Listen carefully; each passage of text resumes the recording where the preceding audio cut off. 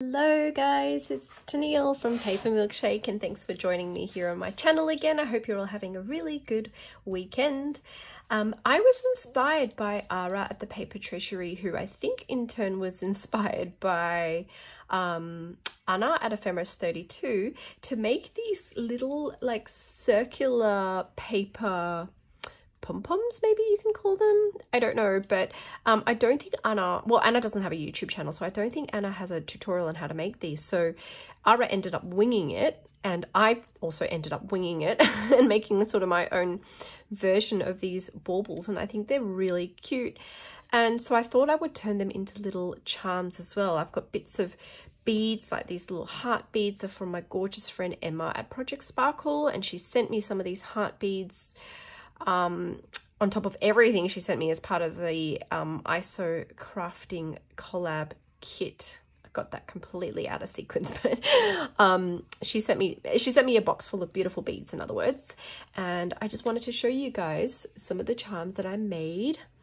And I'm going to also show you how I'm going to attach them to a couple of rosettes and bits and pieces today. So I've made three that are very similar. So these are the three. They don't have the paper beads hanging on them.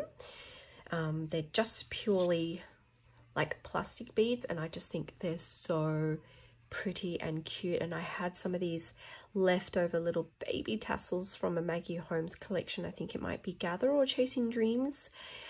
I can't honestly remember which old Maggie Holmes collection they're from, but they're super cute. So they're those four.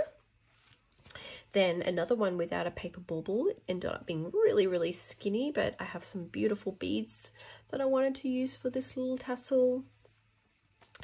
And all the rest of these are the, the ones with the actual paper baubles on them.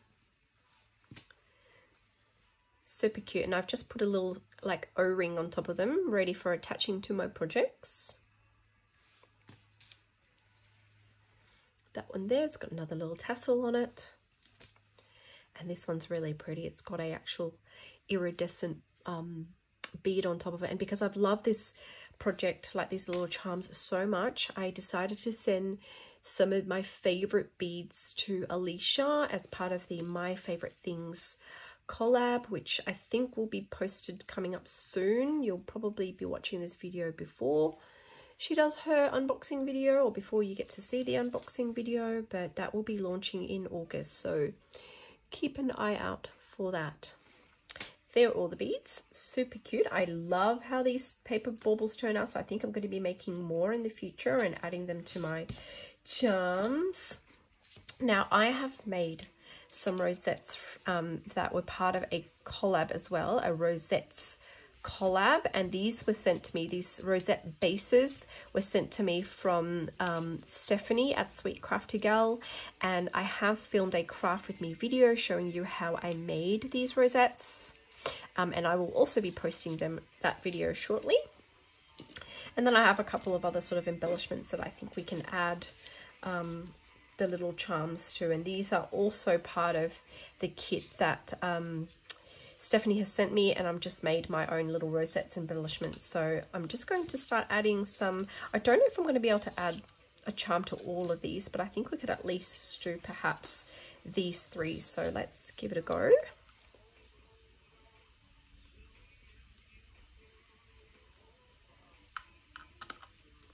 I don't have my eyelets on me, but I don't think that's really necessary at this point. Think that little one will go really well. Yeah, it will.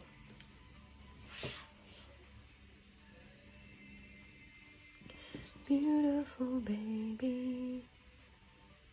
Just got my little YouTube music playlist going on and I haven't heard this Dave Matthew Band's track in a long time, so one of my favourite Dave Matthews Band tracks of all time, American Baby which came out shortly after the 9-11 attacks. Gorgeous song, really good song, really patriotic. There we go. I've added the little charm to that. Just want to maybe get rid of this little annoying little thread that's hanging off. There we go. So that's cute. having a little dangly charm off that.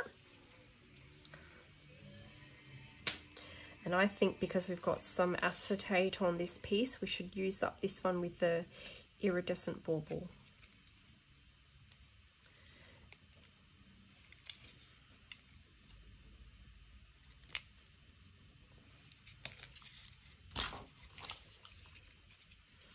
This one could be a bit tricky to punch a hole into, but let's try. Yeah, we'll be fine.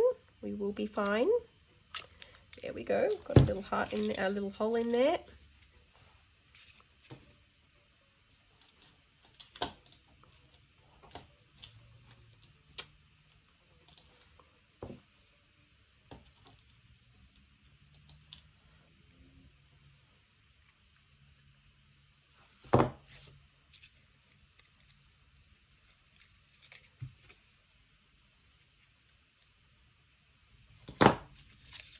Not bad. That's really cute, actually. I've never added a charm to a rosette before, but I quite like that. I think because it's already a very, very chunky rosette, um, adding a charm to it doesn't really overwhelm it too much more since it's already so chunky. So I quite like that, actually. And then lastly, this rosette. Again, just trying to work out the positioning on where I should put this charm.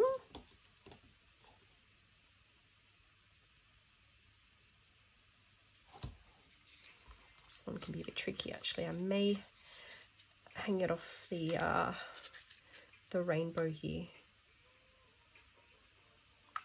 Yep, I'm to hang it off the rainbow.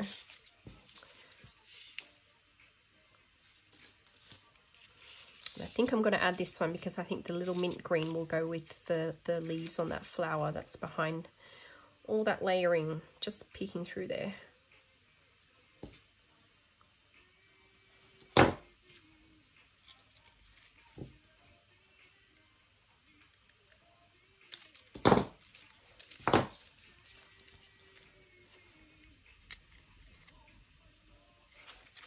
There we go. So that's the finished projects.